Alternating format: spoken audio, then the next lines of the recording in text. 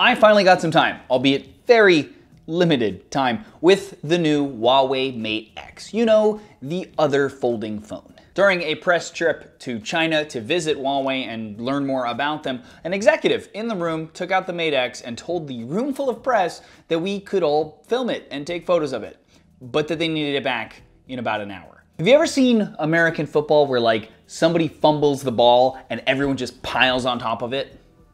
Yeah, kind of like that. Regardless, we managed to be civil enough and we all had a little bit of time and filmed and took photos, etc. And I figured I would try in that limited amount of time to do a complete walkthrough for you guys. Now, if you're not familiar, a complete walkthrough on this channel is where I try to go through every single feature I possibly can on a new device so that you guys are better prepared should you eventually be in the market to actually go buy it. Now, with that said, there's a lot to go through. So let's get started with the hardware. Now, firstly, I mean, it, it folds. We have an 8-inch OLED 2200 by 2480 display when folded out, giving us an odd 8 by 7.1 aspect ratio, so, you know, almost square. And when folded back, we have a front 6.6 inch 19.5 by 9 aspect ratio screen that does at least cover the majority of the display and makes it look almost similar in size and shape to, say, a Huawei P30 Pro. You open the screen by clicking this small button under the camera on the back to unlock it. This button, by the way, we were told is being redesigned to be flatter so it doesn't accidentally get pressed whenever the phone is laying on a desk, and is most likely going to look similar to the one that the CEO was spotted with having not too long ago. Something else that's a benefit of the outward bending screen, besides just having a normal looking modern phone on the front, which is great, is the fact that it also has a 6.38 inch rear screen with a 25 by 9 aspect ratio and a 2480 by 892 resolution. Now, most of the time this rear screen is off by default, but in some situations, like when taking a photo, you can turn it on to show the person in the photo the image you're taking. And of course, you can also use it for selfies too, since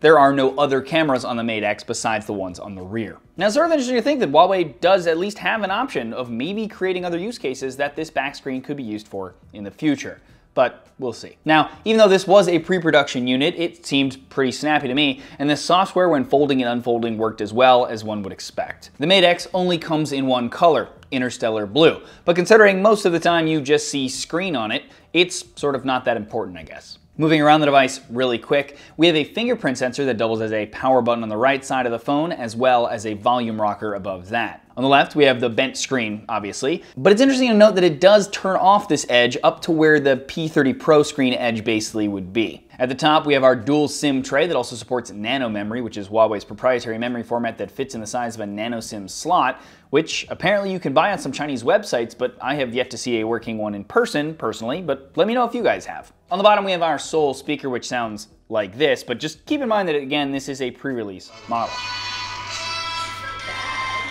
No, but when you were all talking, it was hard to. Yeah. And next to that, we have our USB-C port that is a USB 3.1 Gen 1 port and allows for Huawei's 55 watt charging that supposedly can get the 4500 milliamp battery inside from 0 to 85% in about 30 minutes. It is interesting to see a 4500 milliamp battery in here, only 300 milliamps more than the P30 Pro, and with a much larger screen.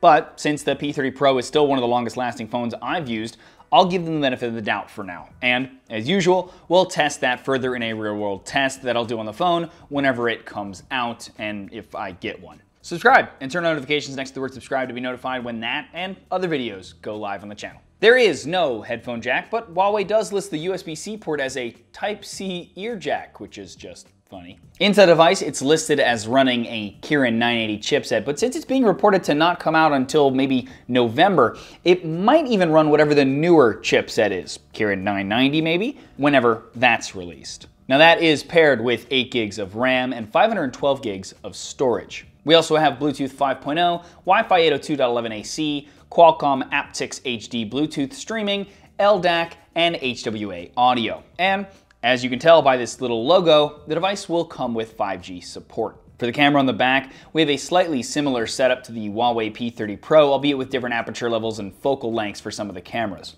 We have a standard 40 megapixel, 27 millimeter equivalent f1.8 aperture instead of the f1.6 on the P30 Pro that has phase detection autofocus. We have an 8 megapixel f2.4 aperture instead of the f3.4 on the P30 Pro, 56 millimeter equivalent telephoto, which is a two times zoom instead of the five times on the P30 Pro, by the way, and a 16 megapixel instead of the 20 megapixel on the P30 Pro, f2.2 aperture, 17 millimeter equivalent instead of the 16 millimeter equivalent on the P30 Pro, wide angle lens. And lastly, we have the same time of flight depth sensing camera as the P30 Pro. Now regardless, the photos we were able to quickly take in the room on the pre-release software definitely remind me of shots from the P30 Pro in terms of quality and the color science, which makes a lot of sense. One cool difference that I already mentioned briefly is that you can use any of these cameras as your selfie camera, since we can use the bent back of the screen as a viewfinder. Now, in terms of software, it's running the same EMUI as the P30 Pro, which will probably be 10 whenever that launches, and so I won't go into that too in depth since it's not really new. The only things I noticed that were unique to the Mate X in the limited time that I had it is that selfie camera ability that I already mentioned, and the ability to use both sides of the display as a split screen. Now, it didn't seem to be able to do more than two windows like the Fold can, but again, all of this is pre-release software, so who knows. The device is again now rumored for September or even November and will cost about 2,300 euros or the equivalent of about 2,550 US dollars. Thing is though that it will most likely launch first in China and then subsequent markets after, but the US is looking like a very unlikely market to get one of course. Also, we're being told that it will be in limited supply when it does launch, similar to the Galaxy Fold. So getting your hands on one will not only be expensive, but quite difficult in all likelihood. Now I will do my best to try to get my hands on one of these, whether it's to borrow it for review or maybe even I might try to buy it from China. Mm, we'll see how that goes. Um, but then when I do, I will do more videos on it and try to do like a real world test where I'll try to, you know, actually test it out and give you guys an opinion on it. Otherwise, if you're not already, please subscribe to the channel to be notified whenever those videos and other ones go live. One thing I can say, at least from the very limited time that I had with the device, it feels good. Like I bent it back and I was I was almost like scared because it was sturdy enough that I thought I was actually like doing, like bending it in a way that I wasn't supposed to, but it's just a very like solid hinge. Um, I felt the same way about the Fold, honestly. Like, I think with these devices being at the price point that they are, they are kind of a showpiece for these companies to show off what they can do, including the folding screen, etc., etc. They may not be the most practical at the price point, but they do, I think, at least between these two devices that I've gotten a chance to use, they do a good job of making them feel like premium devices. I can't wait to try this out. Hopefully I'll get a chance to, and even to retry out the Fold. Stay tuned again for more videos on both of those whenever that might happen. Otherwise though, as always, thanks for watching.